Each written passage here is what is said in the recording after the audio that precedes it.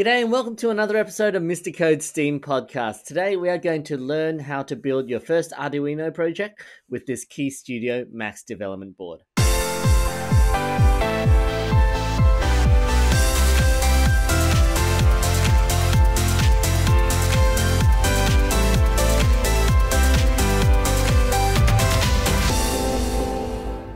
For those who don't know, Arduino is a hugely popular microcontroller that can control lights, sensors, and motors for the fraction of the cost of using a computer. And if you've seen any of my other videos, you might confuse the Arduino with the Raspberry Pi, but there is a key difference. The Raspberry Pi is an actual fully fledged Linux based computer for more complex projects, while the Arduino is a simpler microcontroller that is super light, very cheap, and very energy efficient. Now, if you were going to make an AI camera with like facial recognition or play video games, then you would probably use a Raspberry Pi.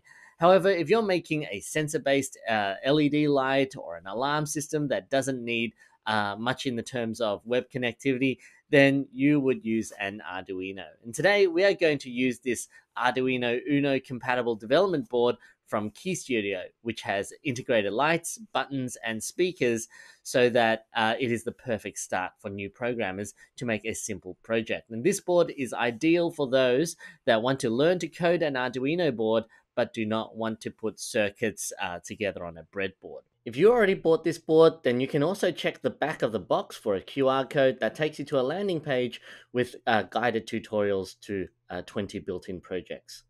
So let's get started by downloading the Arduino software. First of all, you need to go to the Arduino website and install the right software uh, by clicking on the system that is right for you. So I'm using a Windows computer. I've downloaded the Windows version of Arduino. Secondly, we're going to unbox our Keyestudio Max development board and we are going to plug it in to our computer. Let's have a look at what it looks like. So here we have our development board like this. Get some scissors. Oh, nope, don't need scissors. I'm going to just unwrap it.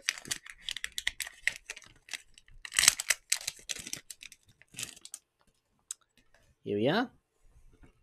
You can see that there are these LED lights um, and uh, uh, speakers uh, beepers, sorry, uh, integrated with this board so that you don't have to wire it up yourself, which is really nice. So straight after you have plugged in the um, the USB cable onto the uh, the board, it should automatically install the software, and you can double check that by going into search your device uh, settings or uh, what you call the device manager. So go down to the bottom left of your search bar and then type in device manager and it should come out like this. Um, so you can see here that we have our Arduino board here on um, the Silicon Labs CP210. So this has been installed correctly. If there was a yellow exclamation mark, then I will leave a link down the bottom of the description so that you can uh, debug uh, how to install it manually. And then the next thing is uh, opening up the Arduino software. So let's go into Arduino. So when you load up Arduino, it should look like this. Okay, um, it's got um, your verifying um, button up the top. So if we press this, it checks to make sure that there aren't any errors in your code when it's compiling. Okay, it doesn't stop any of the runtime kind of stuff, but uh, at least you can see if you have uh, typed all your code correctly when you hit verify. Next, this is the upload button uh, that actually puts the code uh, or the sketch that they call in Arduino into your board. Uh, but actually, the first thing we have to do is we need to set what kind of board we have. We go into Tools, we select Board, hover over Board, and then we choose Arduino Uno.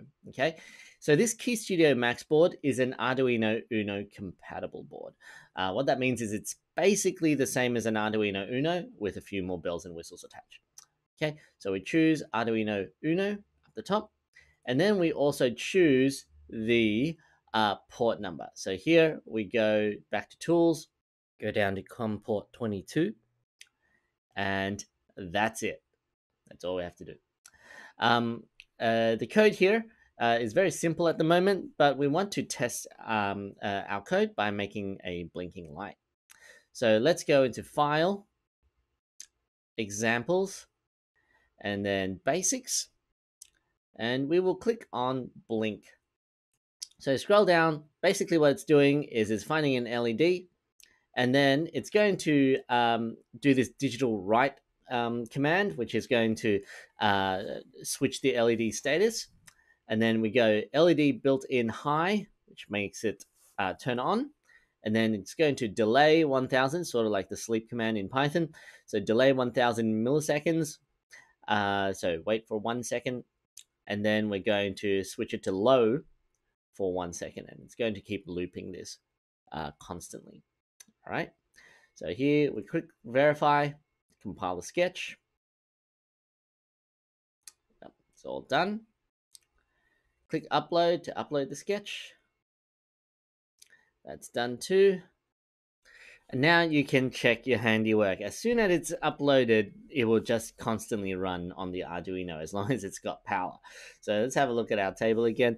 You can see now that lights, the big lights aren't flashing anymore, but there is one light flashing. Can you see it? It is right there. so that is the built-in um, uh, light that is that is flashing exactly uh, on for one second and then off for a second. If you made it up to here on the video, then congratulations, you are now an Arduino programmer. Please consider liking and subscribing to my channel. I make new technology videos every few weeks, uh, and your support really, really helps me out. So the next thing we're going to do is a Hello World project. Normally we do the Hello World project first, but because it's so easy to get this um, this light blinking uh, up and running, uh, I've left it to later. So uh, and also, the code is going to be in the description as well. So you just go into the GitHub link uh, down below to download whatever code you need. Okay, uh, let's cancel and change our code. So here is our hello world code. Uh, down here is where uh, the interesting part happens. Okay, so when we are reading that we have pressed the letter H on the keyboard, then it types hello world. Why do we do that? It's because uh, for Arduino, there isn't a real like on startup kind of event. Um, uh, there's this constant loop that is happening uh, where when you plug the Arduino in. Okay, so in order for it to do something when you want it to, uh, we can uh, add like a keystroke on the keyboard, and that's basically what this does. So here, compile the code uh, upload it. And then we need to open the serial monitor. So here we go into tools and then we click on serial monitor. Here we are. So here's the serial monitor. You hit the word, the uh, sorry, the letter H, press enter, and then it will show hello world. Okay, very, very simple. Okay, for our third project today, we are going to have some fun. We're going to start writing some uh, letters and numbers onto this light matrix on the back of this Keyestudio Max board. Um, it took a little more work than I expected. But basically, what we need to do is we need to install the libraries in order to uh, access this uh, light matrix. The first thing we're going to do is go into the um, Dropbox link that I'm going to have on the bottom of the page now uh, to uh, download your libraries. After you have downloaded the libraries, you need to extract it uh, onto a folder. Okay, and this is what it should look like. Okay, so you'll have your folder arranged like this. Uh, you go inside the libraries, and then you'll find this Keyestudio LED backpack um, uh, folder. You right click onto it and then you go compress to zip file and you will end up with this uh, zip file ver- sorry zip file version of the folder. Okay? Once you have that ready then we go back into arduino. Okay? We go back into arduino go into sketch go into include library then add zip library click on that, you go find that zip file that we just created that has that backpack. And you press open. And that is how we install the library. I've already got, got it pre-installed, but uh, if you install it again, uh, you will see this library installed message. Basically means that you now can access the Keyestudio specific um, stuff. That makes it so much more handy than having to wire up your own breadboard, right? So uh, you have your library installed. Then we can copy our new code. As before, this code is going to be on my GitHub. Okay, so here uh, we have our backpack libraries. So if you if you didn't uh, import the libraries, then you would get all sorts of errors here. So here we've got our backpack library. Uh, we get our matrix to get started. We clear the matrix, and then we start turning the uh, the letters on. Let's make it go for one second, and then let's clear everything and then it's put CA for Creator Academy. So what's a video without a little bit of self promotion, right? Uh, let's verify our code. Done, and then we press upload, and it is done. All right, fantastic. Now it's got Go CA. Ah, awesome. Okay, uh, as I said, all our code is going to be on the um, on our GitHub link below. I want to thank the sponsor of today's video, Jaycar. When it comes to technology, our school is always reaching out to the experts at Jaycar. They are the leading DIY electronics retailer in Australia and New Zealand with over 130 stores. So if you're in Australia or New Zealand and you want to buy Arduino supplies like all the equipment shown in today's video, then make sure you check out the range and visit the Jaycar website or pop into a store near you.